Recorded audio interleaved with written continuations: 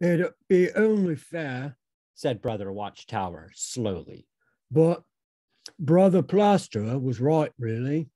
I can't see a scion manifesting his destiny just because Brother Doorkeeper thinks the woman in the vegetable shop keeps giving him funny looks. No offense. And bloody short wait, said Brother Doorkeeper. And she. Yes, yes, yes, said the Supreme Grand Master. Truly the right thinking folk of Ankh Morpork are beneath the heel of the oppressors. However, a king generally reveals himself in rather more dramatic circumstances, like a war, for example. Things were going well.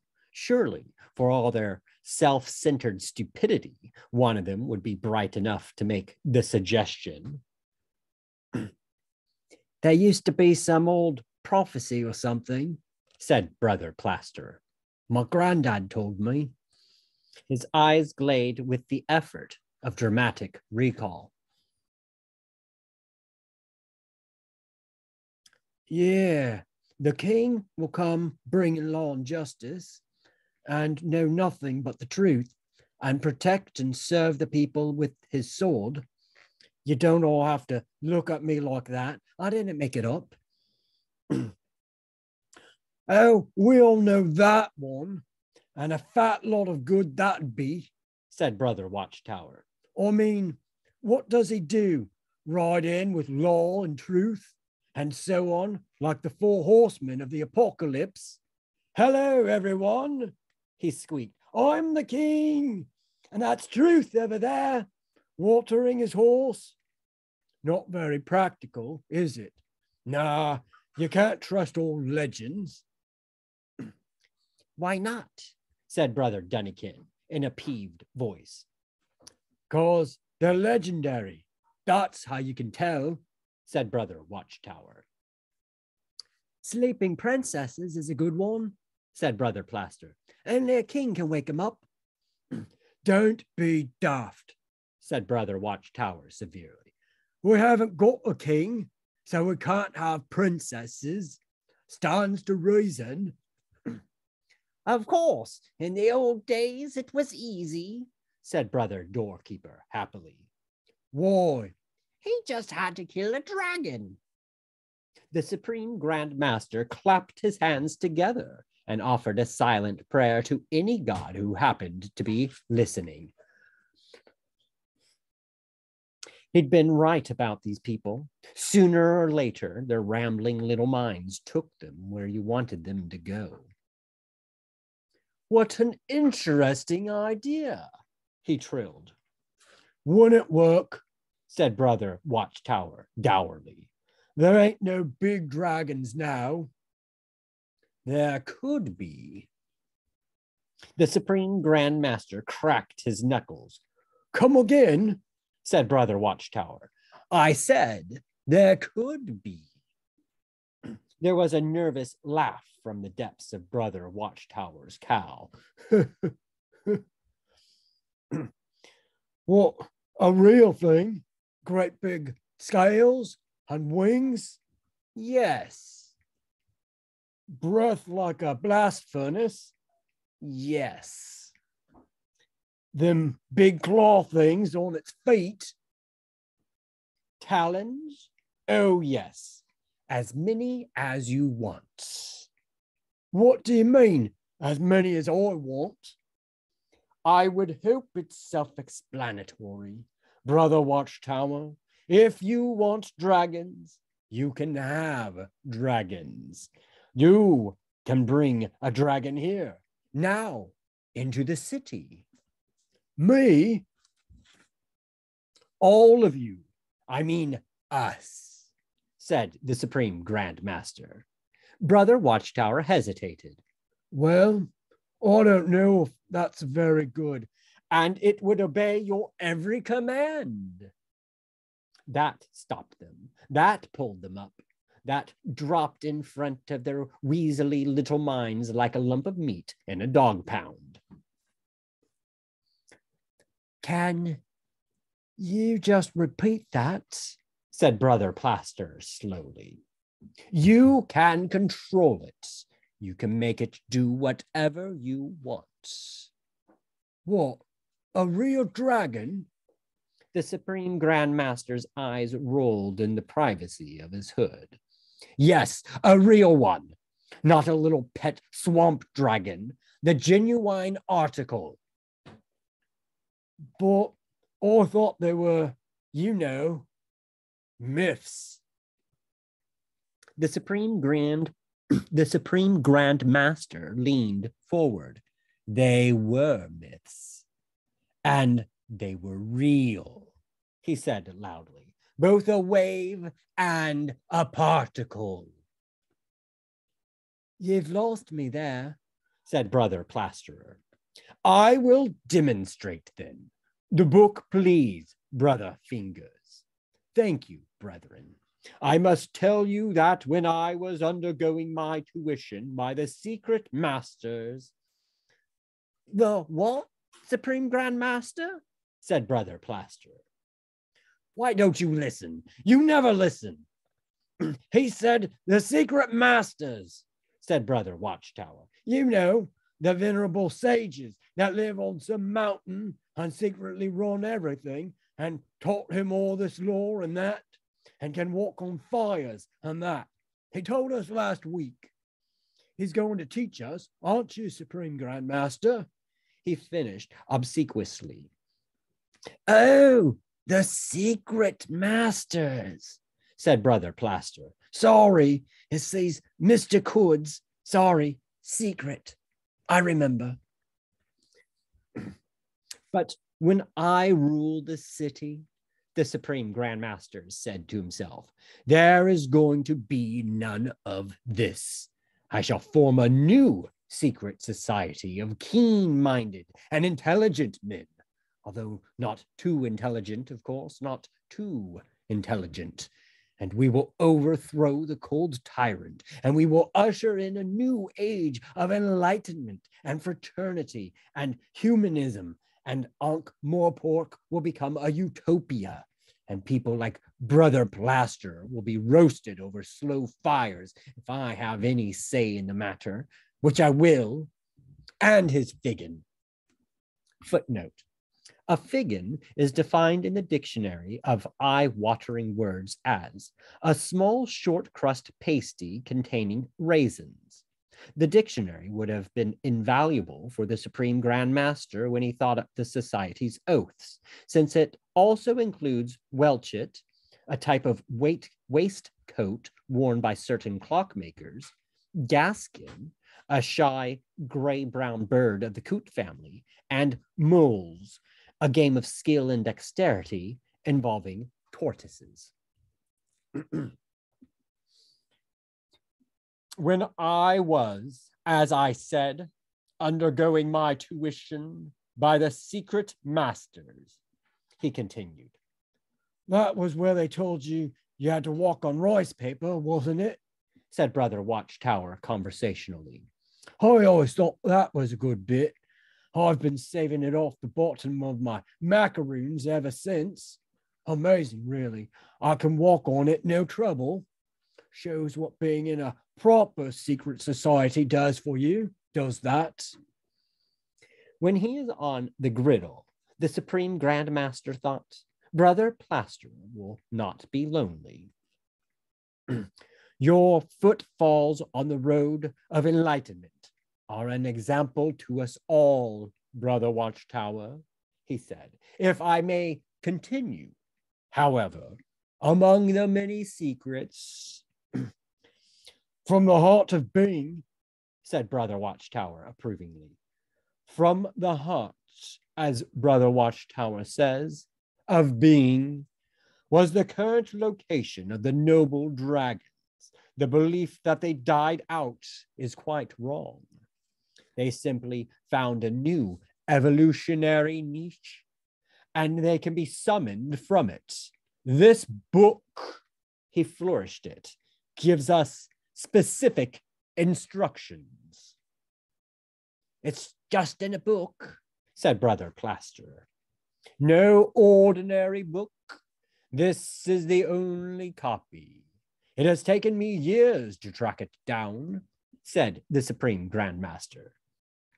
It's in the handwriting of Tubal de Malachite, a great student of dragon lore, his actual handwriting. He summoned dragons of all sizes, and so can you. There was another long, awkward silence. Um, said Brother Doorkeeper. Sounds a bit like, you know, magic to me, said Brother Watchtower, in the nervous tone of the man who has spotted which cup the pea is hidden under, but doesn't like to say, I mean, not wishing to question your supreme wisdomship and that, but, well, you know, magic. His voice trailed off. Yeah, said Brother Plasterer uncomfortably.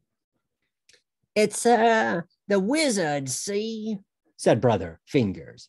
You probably didn't know this when you was bind up with them venerable Herberts on the mountain. But the wizards around here come down on you like a ton of bricks if they catches you doing anything like that. Demarcation, they call it, said Brother Plaster. Like, I don't go around fiddling with the mystic interleaved was names of causality, and they don't do any plastering. I fail to see the problem, said the Supreme Grand Master. In fact, he saw it all too clearly. This was the last hurdle. Help their tiny little minds over this, and he held the world in the palm of his hand. Their stupefyingly unintelligent self interest hadn't let him down so far. Surely it couldn't fail him now. The brethren shuffled uneasily. Then Brother Dunnikin spoke. Huh, wizards, what do they know about today's work? The Supreme Grand Master breathed deeply. Ah. The air of mean minded resentfulness thickened noticeably.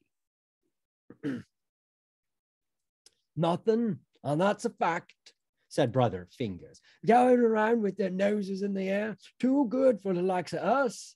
I used to see him when I walked up the university. Backsides a mile wide, I'm telling you. Catch him doing a job of honest toil. like thieving, you mean? said Brother Watchtower, who had never liked Brother Fingers much.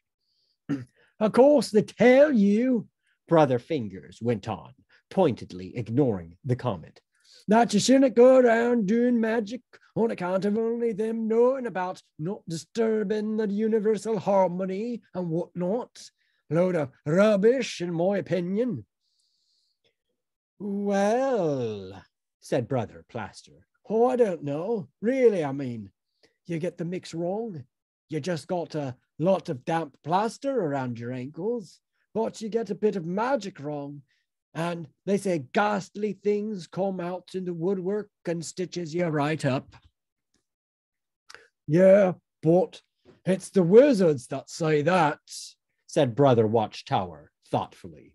Never could stand them myself, to tell the truth. Could be they're on to a good thing and don't want the rest of us to find out. It's only waving your arms and chanting when all's said and done. The brethren considered this. It sounded plausible. If they were onto a good thing, they certainly wouldn't want anyone else muscling in. The Supreme Grand Master decided that the time was ripe. Then we are agreed, brethren. You are prepared to practice magic. Oh, practice? said Brother Plaster, relieved. I don't mind practicing so long as we don't have to do it for real. The Supreme Grandmaster thumped the book. I mean, carry out real spells. Put the city back on the right lines. Summon a dragon, he shouted. They took a step back. Then Brother Doorkeeper said, And then, if we get this dragon, the rightful king will turn up just like that. Yes, said the Supreme Grand Master. I can see that, said Brother Watchtower supportively. Stands to reason, because of destiny and the gnomic workings of fate. There was a moment's hesitation, and then a general nodding of cowls. Only Brother Plaster looked vaguely unhappy. Well, he said, it won't get out of hand, will it? I assure you, Brother Plaster, that you can give it up any time you like, said the Supreme Grand Master smoothly. Well, all right, said the reluctant brother. Just for a bit, then. Could we get it to stay here long enough to burn down, for example, any oppressive vegetable shops? Ah. He'd won. There'd be dragons again, and a king again, not like the old kings, a king who would do what he was told. That said the Supreme Grand Master, depends on how much help you can be. We shall need initially any items of magic you can bring. It might not be a good idea to let them see that the last half of de Malachite's book was a charred lump. The man was clearly not up to it. He could do a lot better, and absolutely no one would be able to stop him. Thunder rolled it is said that the gods play games with the lives of men. But what games and why? And the identities of the actual pawns, and what the game is, and what the rules are. Who knows? Best to not speculate. Thunder rolled. It rolled a six. Now, pull back briefly from the dripping streets of Ankh Morpork, pan across the morning mists of the disk, and focus in again on a young man heading for the city with all the openness, sincerity, and innocence of purpose of an iceberg drifting into a major shipping lane.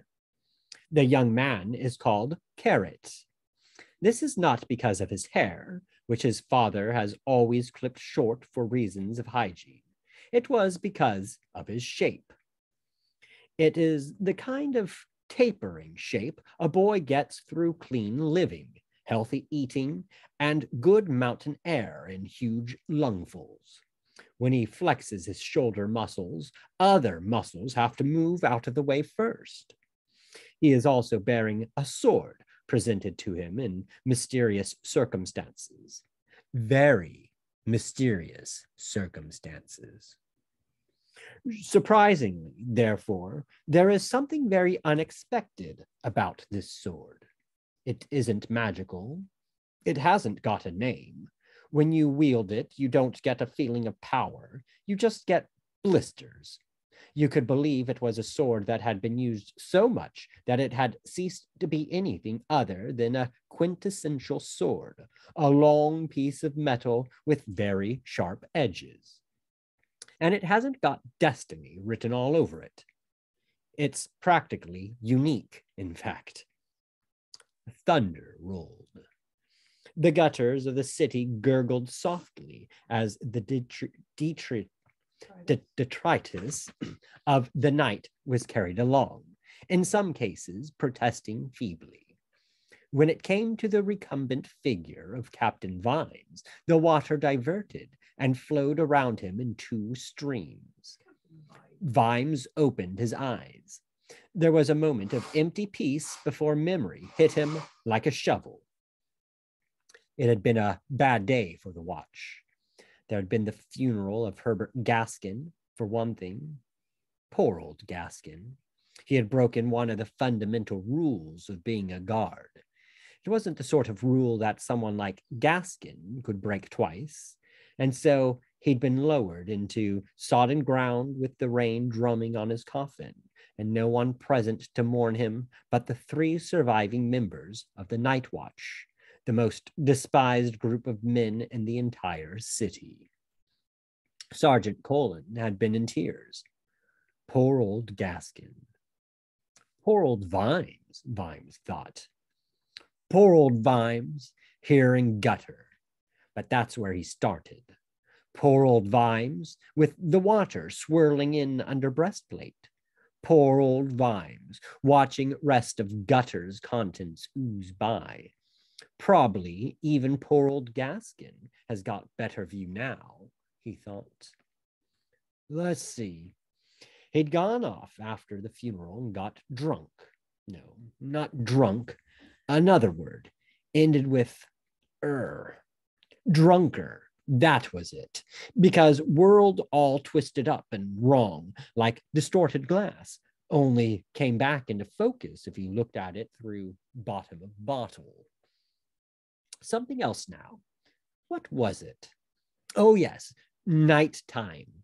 Time for duty. Not for Gaskin, though. Have to get new fellow. New fellow coming anyway. Wasn't that it? Some stick from the Hicks? Written letter. Some tick from the Shicks. Vimes gave up and slumped back. The gutter continued to swirl. Overhead, the lighted letters fizzed and flickered in the rain. It wasn't only the fresh mountain air that had given Carrot his huge physique. Being brought up in a gold mine run by dwarfs and working a 12 hour day hauling wagons to the surface must have helped. He walked with a stoop. What will do that is being brought up in a gold mine run by dwarfs who thought that five feet was a good height for a ceiling. He'd always known he was different, more bruised for one thing, and then one day his father had come up to him, or rather, come up to his waist, and told him that he was not, in fact, as he had always believed, a dwarf. It's a terrible thing to be nearly 16 and the wrong species. I didn't like to say so before, son, said his father. We thought you'd grow out of it, see? Grow out of what? said Carrot growing. But now your mother thinks, that is, we both think, it's time you went out among your own kind. I mean, it's not fair keeping you cooped up here without company of your own height. His father twiddled a loose rivet on his helmet, a sure sign that he was worried. Er, he added. But you're my kind, said Carrot desperately. In a manner of speaking, yes, said his father. In another manner of speaking, which is a rather more precise and accurate manner of speaking, no. It's all this genetics business, you see. So it might be a very good idea if you were to go out and see something of the world. What, for good? Oh, no. No, of course not. Come back and visit whenever you like. But, well, a lad your age, stuck down here, it's not right, you know. I mean, not a child anymore, having to shuffle around on your knees most of the time and everything. It's not right. What is my own kind then? said Carrot, bewildered. The old dwarf took a deep breath. You're human, he said. What? Like Mr. Varneshi? Mr. Varneshi drove an ox cart up at the mountain trails once a week to trade things for gold. One of the big people? You're six foot six, lad. He's only five foot. The dwarf twiddled the loose rivet again. You see how it is. Yes, but, but Maybe I'm just tall for my height, said Carrot desperately. After all, if you can have short humans, can't you have tall dwarfs?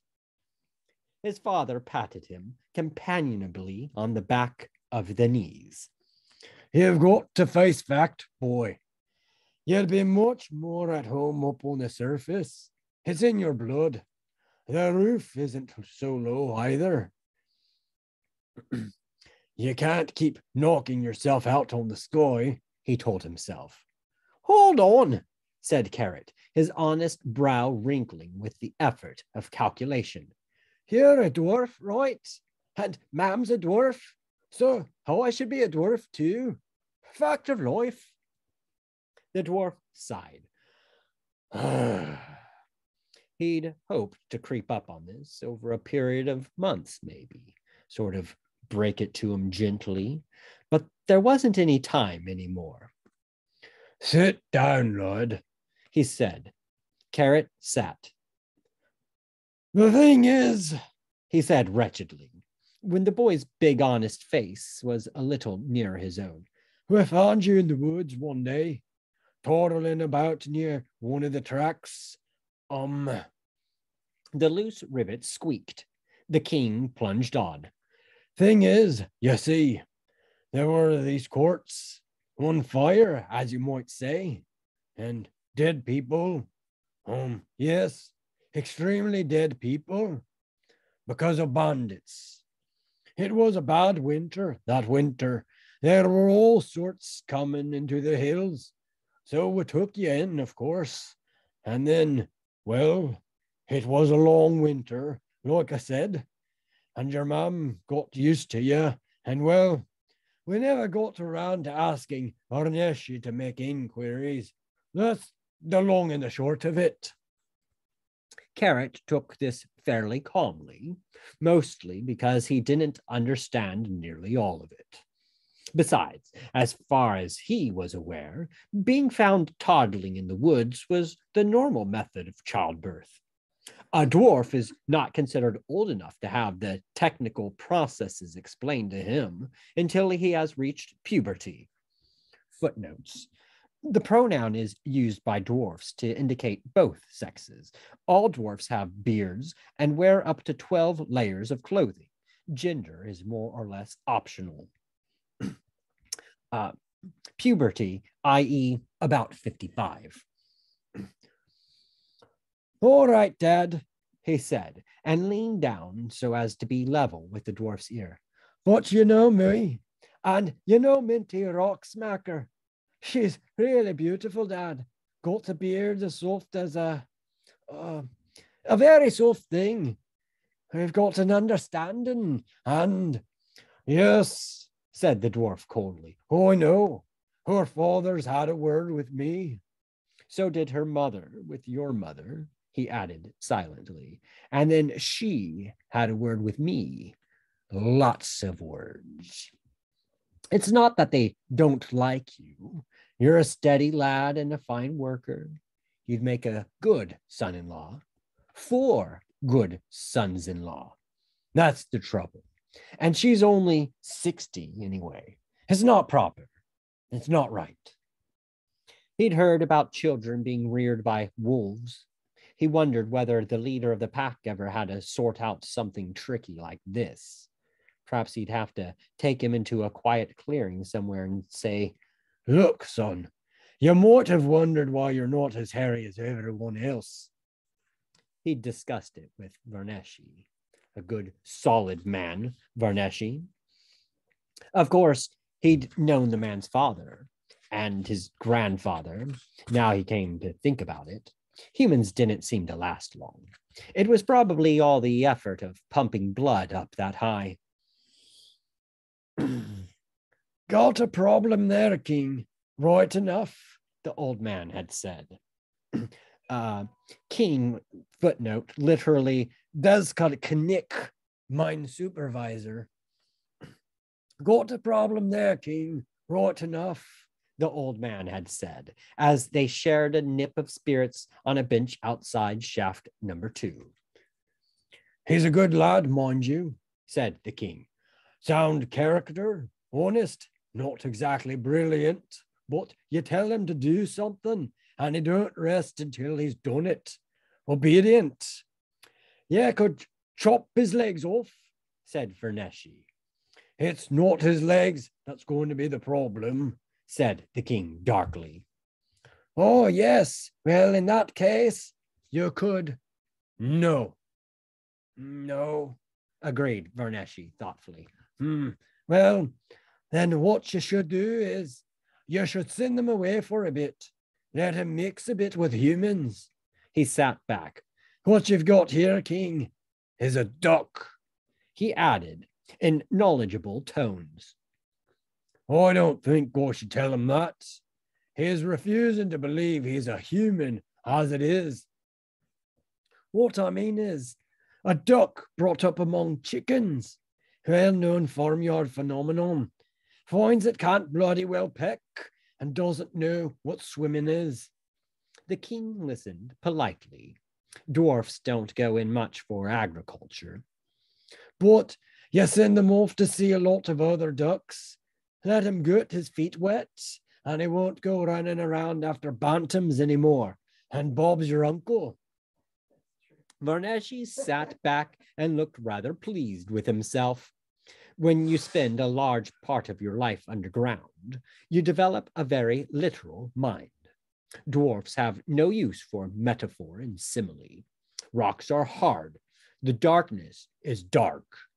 Start messing around with descriptions like that, and you're in big trouble, is their motto. But after 200 years of talking to humans, the king had, as it were, developed a painstaking mental toolkit which was nearly adequate for the job of understanding them. Surely, Bjorn Stronginthearm is my uncle, he pointed out slowly. Same thing. There was a pause while the king subjected this to careful analysis. You're saying, he said, weighing each word, that we should send Carrot away to be a duck among the humans because Bjorn Stronginthearm is my uncle. He's a fine lad, plenty of openings for a big, strong lad like him, said Varneshi. Oh, I've heard that dwarfs go off to work in the big city said the king uncertainly. And they send back money to their families, which is very commendable and proper. there you are then. Give him a job in in Varneshi sought for inspiration. In the watch or something. My great grandfather was in the watch, you know. Fine job for a big lad, my grandad said. What is a watch? said the king. Oh, said Varneshi, with the vagueness of someone whose family for the last three generations hadn't traveled more than 20 miles. They goes about making sure people keep the laws and do what they're told. That is a very proper concern, said the king, who, since he was usually the one doing the telling, had very solid views about people doing what they were told. Of course, they don't take just anyone, said Varneshi, dredging the depths of his recollection. I should think not, for such an important task. I shall write to their king. I don't think they have a king there, said Varneshi. Just some man who tells them what to do. The king of the dwarfs took this calmly this seemed to be about 97% of the definition of kingship, as far as he was concerned.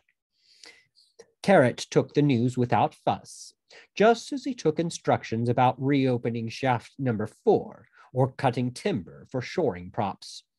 All dwarfs are by nature dutiful, serious, literate, obedient, and thoughtful people whose only minor failing is a tendency after one drink to rush at enemies, screaming, Arr! and axing their legs off at the knee. Carrot saw no reason to be any different.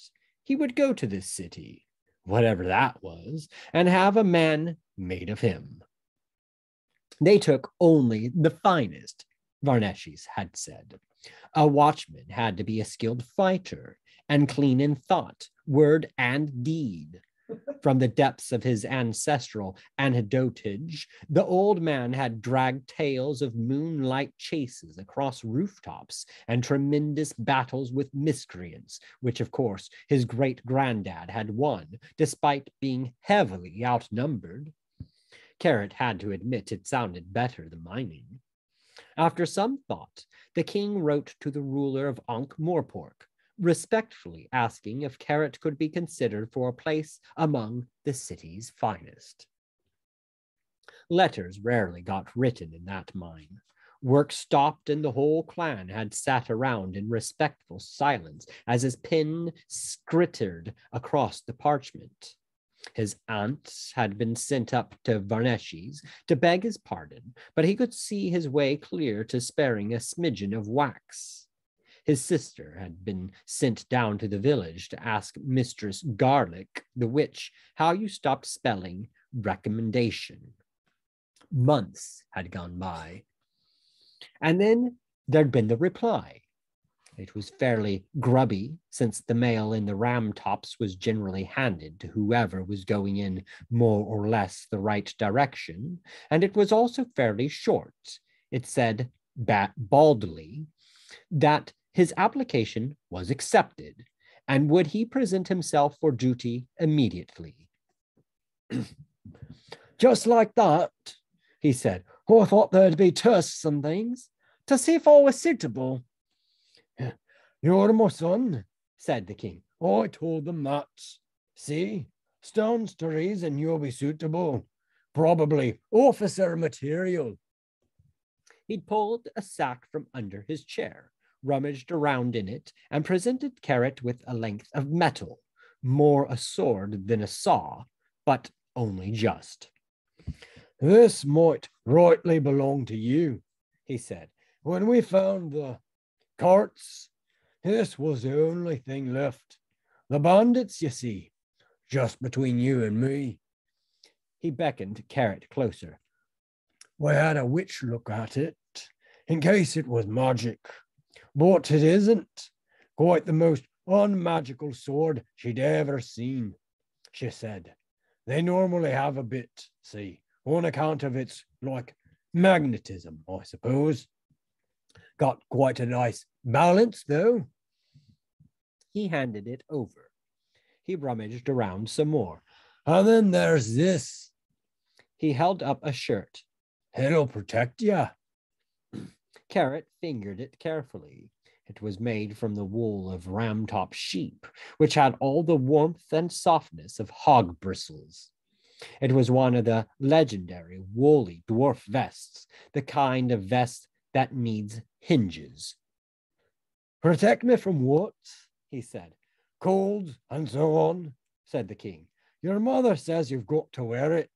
And uh, that reminds me, Mr. Varneshi says he'd like you to drop in on the way down the mountain. He's got something for you. His father and mother had waved him out of sight. Minty didn't. Funny that. She seemed to have been avoiding him lately. He'd taken the sword, slung on his back, sandwiches and clean underwear in his pack, and the world more or less at his feet. In his pocket was the famous letter from the patrician, the man who ruled the great fine city of Ankh Morpork. At least that's how his mother had referred to it. It certainly had an important looking crest at the top, but the signature was something like Lupin Squiggle Seki PP. Still, if it wasn't actually signed by the patrician, then it had certainly been written by someone who worked for him, or in the same building. Probably the patrician had at least known about the letter in general terms. Not this letter, perhaps, but probably he knew about the existence of letters in general. Carrot walked steadfastly down the mountain paths, disturbing clouds of bumblebees. After a while, he unsheathed the sword and made experimental stabs at felonious tree stumps and unlawful assemblies of stinging nettles. Varneshi was sitting outside his hut, threading dried mushrooms on a string. Hello, Carrot, he said, leading the way inside. Looking forward to the city. Carrot gave this due consideration. No, he said. Having second thoughts, are ya? No, I was just walking along, said Carrot honestly. I wasn't thinking about anything much. Your dad gave you the sword, did he? said Varneshi, rummaging on a fetid shelf. Yes, and a woolly vest to protect me against chills. oh, yes, it can be very damp down there, so I've heard. Protection, very important. He turned around and added dramatically, This belonged to my great grandfather. It was a strange, vaguely hemispherical device surrounded by straps. It's some sort of sling, said Carrot after examining it in polite silence. Varneshi told him what it was. Codpiece, like and fish, said Carrot, mystified. No, it's for the fighting, mumbled Varneshi. You should wear it all the time. Protects your vitals, like. Carrot tried it on. It's a bit small, Mr. Varneshi. That's because you don't wear it on your head, you see. Varneshi explained some more to Carrot's mounting, to Carrot's mounting bewilderment and subsequently horror. My great granddad used to say, Varneshi finished, that but for this, I wouldn't be here today. What did he mean by that? Varneshi's mouth opened and shut a few times. I've no idea, he said spinelessly. Anyway, the shameful thing was now at the very bottom of Carrot's pack. Dwarfs didn't have much truck with things like that. The ghastly preventative represented a glimpse into a world as alien as the backside of the moon. There had been another gift from Mr. Varneshi. It was a small but very thick book, bound in a leather that had become like wood over the years. It was called The Laws and Ordinances of the Cities of Ankh and Morpork. This belonged to my great granddad as well, he said. This is what the watch has to know. You have to know all the laws, he said virtuously, to be a good officer. Perhaps Varneshi should have recalled that in the whole of Carrot's life, no one had ever really lied to him or given him an instruction that he wasn't meant to take quite literally. Carrot solemnly took the book. It would never have occurred to him, if he was going to be an officer of the watch, to be less than a good one. It was a 500 mile journey and, surprisingly, quite uneventful. People who are rather more than six feet tall and nearly as broad across the shoulders often have uneventful journeys. People jump out at them from behind rocks, then say things like, Oh, sorry, I thought you were someone else. He'd spent most of the journey reading, and now Ankh Morpork was before him. It was a little disappointing. He expected high white towers rearing over the landscape and flags. Ankh Morpork didn't rear. Rather, it sort of skulked, clinging to the soil as if afraid someone might steal it. There were no flags. There was a guard on the gate. At least he was wearing chainmail, and the thing he was propped up against was a spear. He had to be a guard. Carrot saluted him and presented the letter. The man looked at it for some time. Hmm, he said eventually. Oh, I think I've got to see Lupin Squiggle Seki PP, said Carrot. What's the PP for? said the guard suspiciously. Could it be pretty promptly? said Carrot, who had wondered about this himself. Well, I don't know about any Seki, said the guard. You want Captain Vimes of the Night Watch. and where is he based? Said Carrot politely. At this time of day, I'll try the bunch of grapes in Easy Street, said the guard. He looked Carrot up and down. Joining the watch, are you? I hope to prove worthy. Yes, said Carrot. The guard gave him what could loosely be called an old fashioned look. It was practically Neolithic. What was it you done? He said. I'm sorry, said Carrot. You must have done something, said the guard. My father wrote a letter, said Carrot proudly. Oh, I've been volunteered. Bloody hellfire, said the guard.